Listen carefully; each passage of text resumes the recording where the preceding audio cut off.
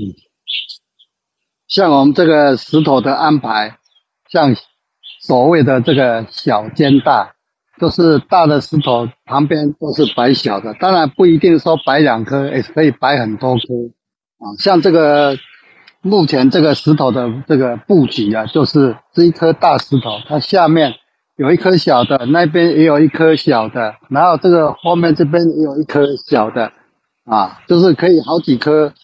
跟它摆在一起，它主要就是要有大小的变化。石头都摆的一样大的话，一定不好看。如果万一一样大的话，你有些要靠近一点，有些要要要松一点啊。但是这是另外一种布局啊，石头的布局。那目前我们介绍这个石头，就是说它这个大石头旁边有几颗小石头啊，不止两颗啊，就是也许很多颗。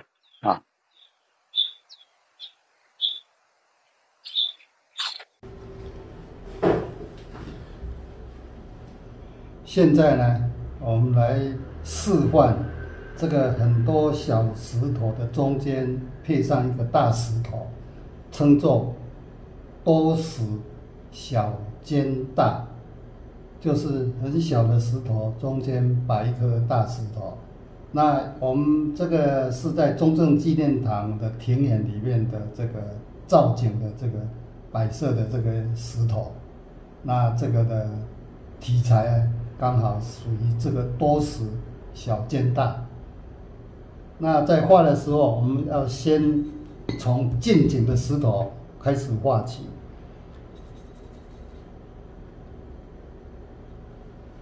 先从近的开始画起。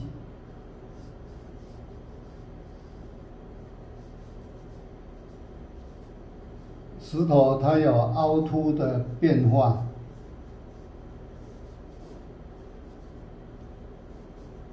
当然，见的石头，我们墨色要稍微浓一点，嗯，但是也要有浓淡。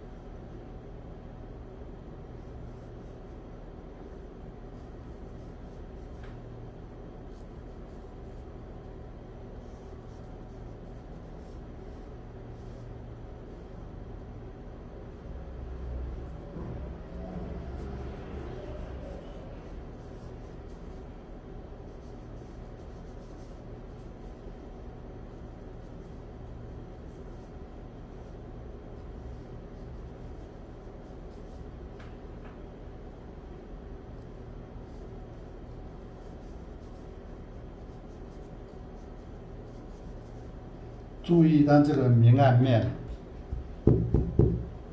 它每一个块面的地方啊都不一样，那上面也有凹凸的地方。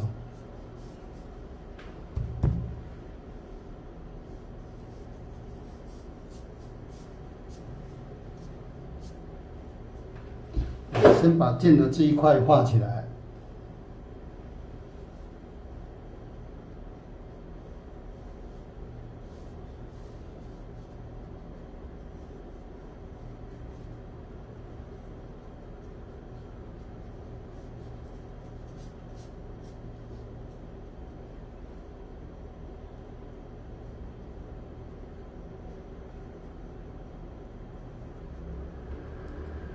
再来后面这一块，一块一块的做出来，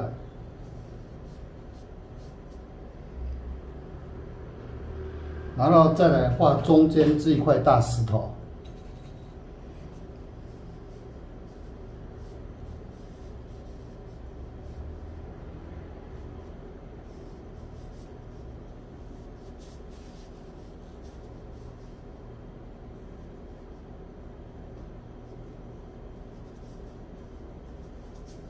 用春插笔，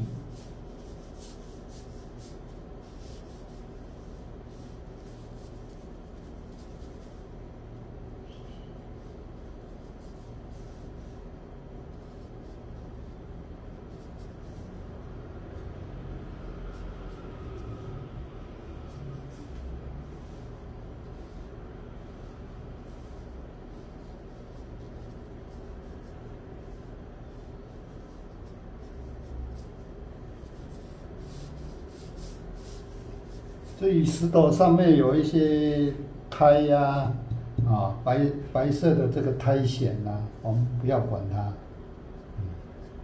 不要受到颜色的这个影响。记得后面的地方我们可以稍微强调暗一点。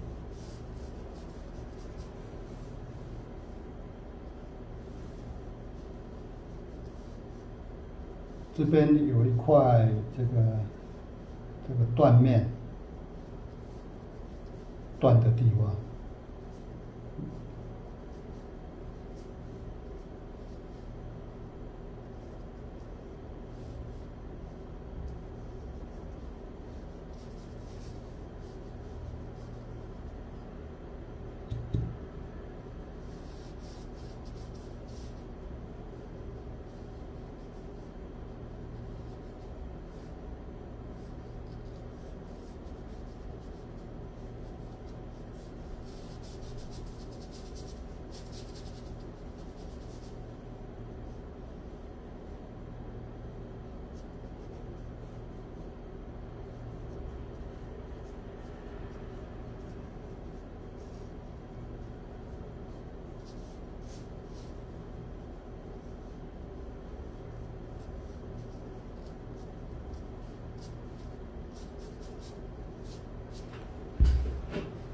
中间这个大石头画好之后呢，我们再来就是要画它后面的，再来这个后面的石头。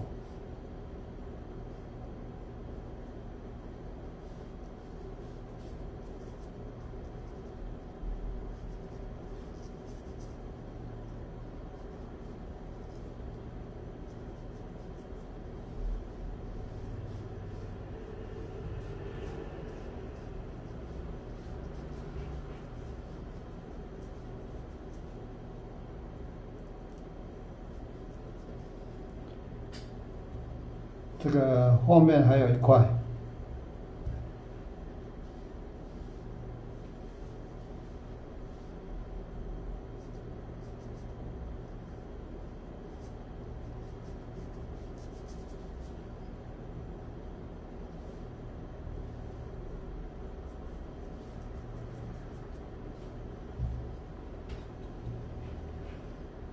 它旁边的都是一些小石头。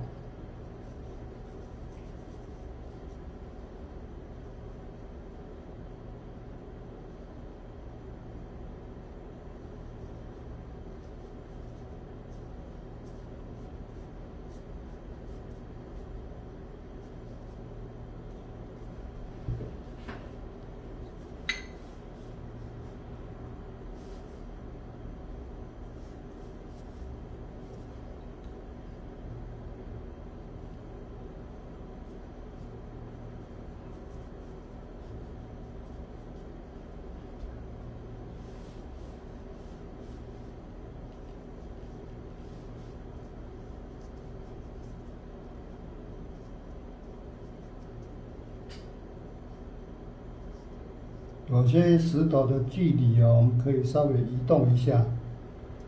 这个写生也是要啊，要取舍，还有可以这个把它重新再布局。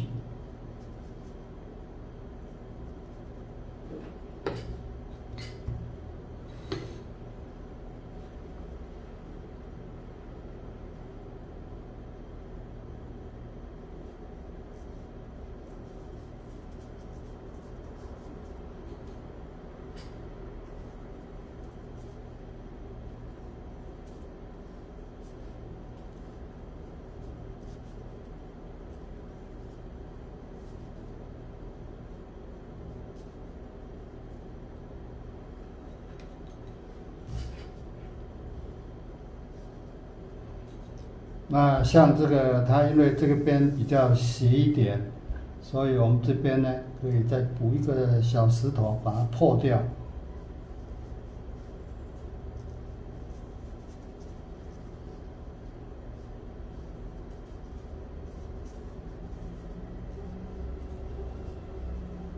啊，这一颗完全是自己补上去的，那是为了如果说这个一个完整的构图的话。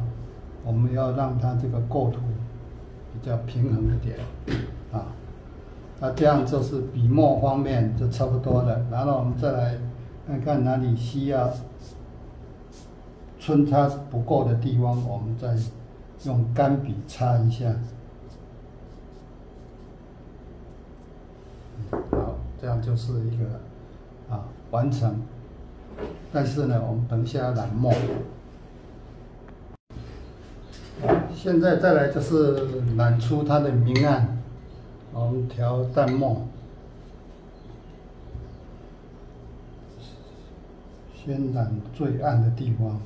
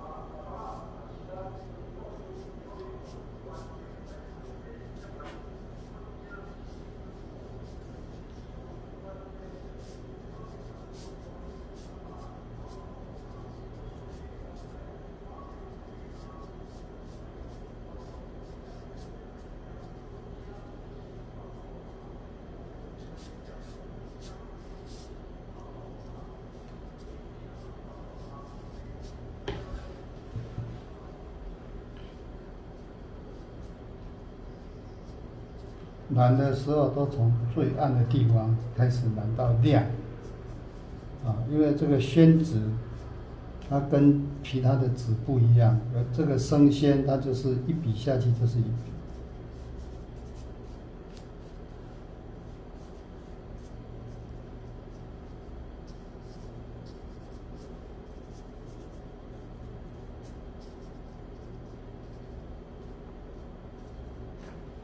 来第二道，我们再来亮点的地方。